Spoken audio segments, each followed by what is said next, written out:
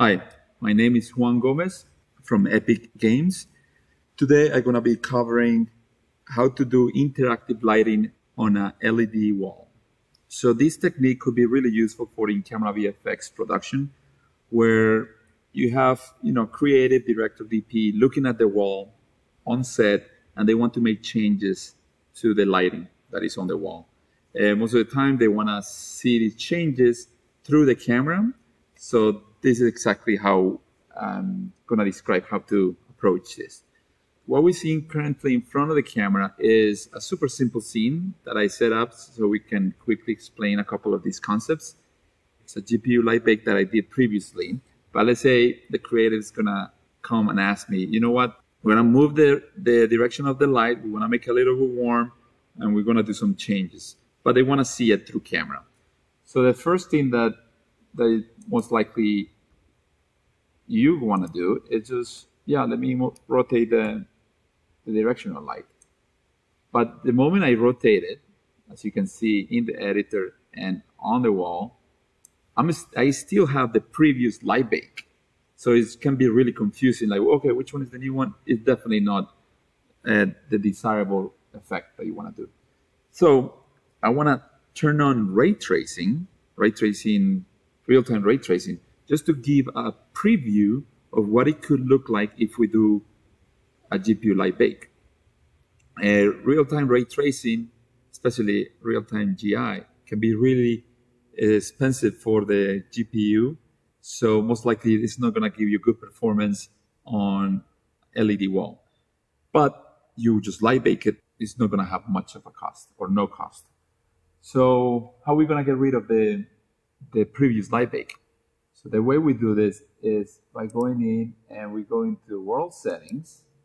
And then in the world setting, settings under Lightmass settings, we check force no pre-compute lighting. What this is gonna do is gonna clear the previous light bake. So we're gonna go in, build option, build light only.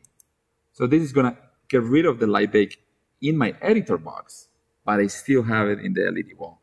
So what we need to do, we need to push these changes through multi-user to the LED wall. And the way we do that is by saving, you can click save all, saving all the levels that currently have light bake information. Most likely is the build data, what we need to save. So as, as you can see, I have all these levels that they do have geometry and they do have light bake information. And I'm just gonna go in and hit save. What it is doing is just going to sending sending this information to the wall. So as you can see now on the wall, we have the, exactly what I see in the editor. There's a couple of things that I want to double check. I want to, it almost looks like on the wall I have SSGI on.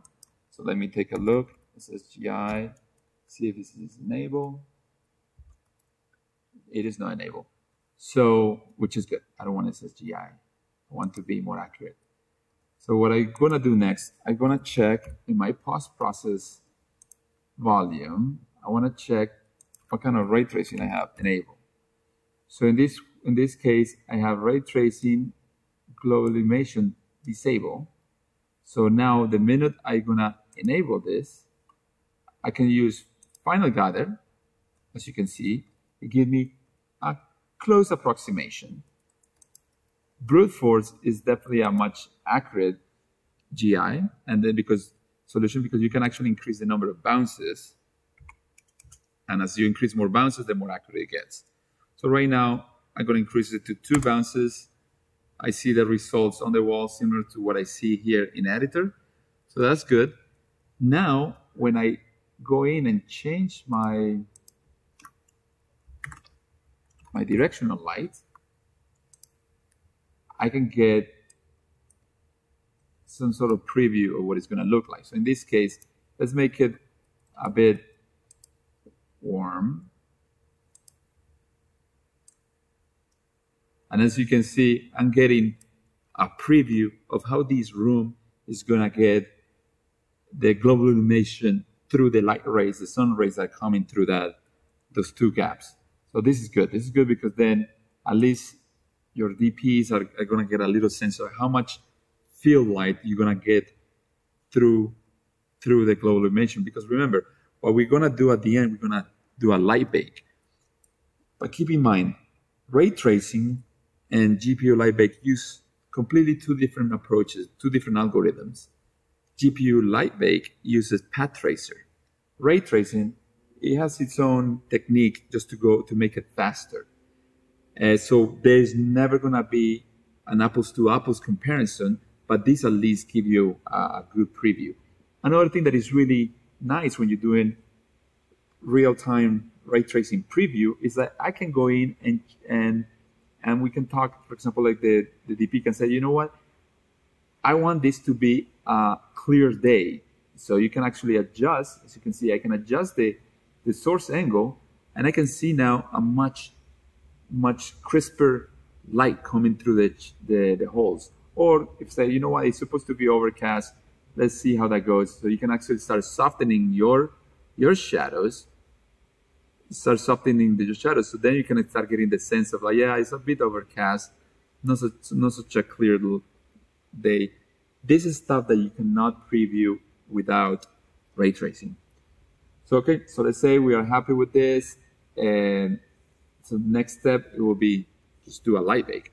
So in this case, I'm gonna go and go into my GPU light bake, and I'm gonna these are decent settings for now.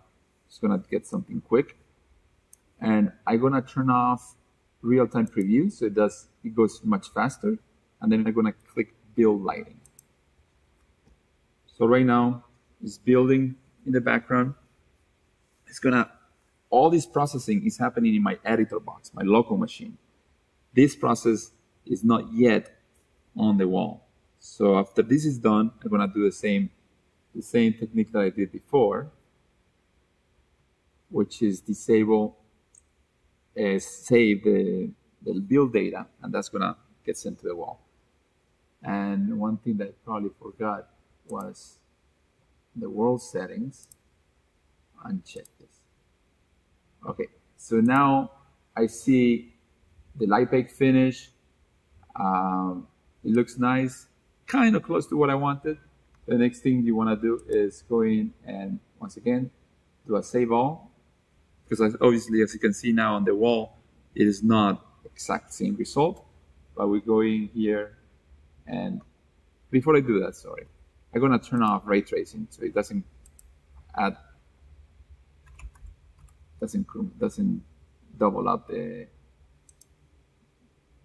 so disable it perfect so now in my editor box this is completely the results of the GPU light bake. And now I'm gonna save this on the wall. So save them, say selected. So now it's saved locally. It's now sending the information to the wall. And now we can see the results in the wall. Right now the, the mip maps are getting loaded and now we see it. So as you can see, I was able just to first do a preview using real-time GI that gave me a little bit of sense of what it's going to look like. And now when everybody's happy, then I light bake, and to push it to the wall. Thank you so much.